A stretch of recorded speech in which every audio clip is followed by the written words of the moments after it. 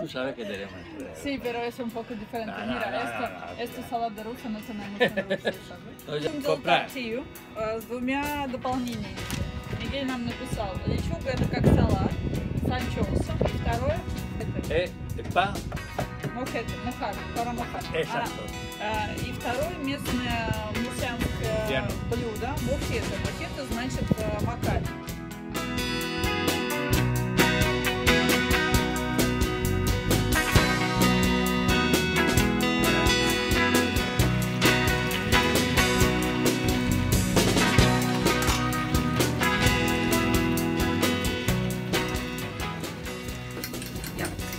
Сегодня у нас тапос, э, классический испанский тапос. Мы делаем тортилью.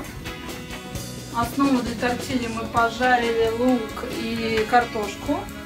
Я сейчас взбиваю яйца. Sí. Primero se fríen las patatas, después la cebolla. Luego se mezcla todo. Vale. Porque así la patata se pone más blanda. Ah. Con la cebolla. Vale. Pues más blanda. Y cuando ya está todo frito, pues se le echa el huevo y ya espera. Tiro de España. Ah. Uli. ¡Wow!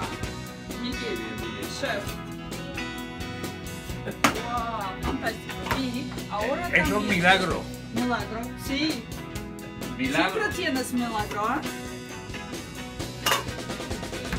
Pues, y... Tengo una cara roja. Sí.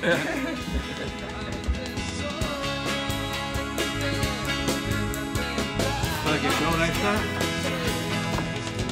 Ahora está.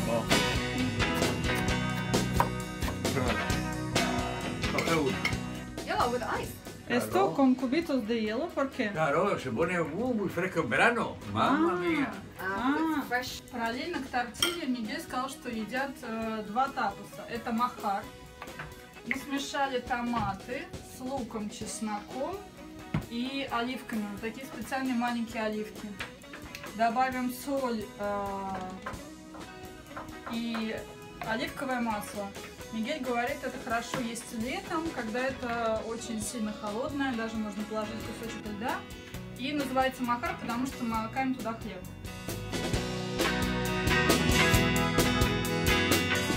Una tortilla y esas patatas en ajo caballí. You want smashed, Мгм. smashed garlic, not chopped.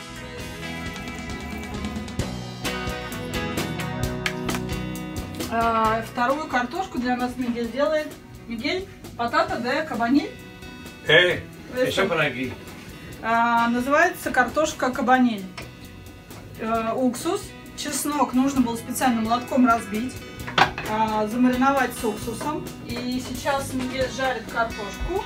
Потом мы вмешаем туда уксус и чеснок. Вот мы уже вмешиваем уксус и чеснок. Это тоже особый вид картошки. Так что сегодня у нас тапосы. Еще один тапос классический. Это листья салата. Можно брать любые. Мы взяли айсберг и сардины. Все очень легко. А, В холодной воде держим айсберг. В Испании любят этот тапос обычно в теплое время года. И поверх каждого кусочка айсберга, который пролежал в холодильнике в холодной воде, мы сейчас положим по сардинке, польем оливковым маслом и будет замечательно закусывать.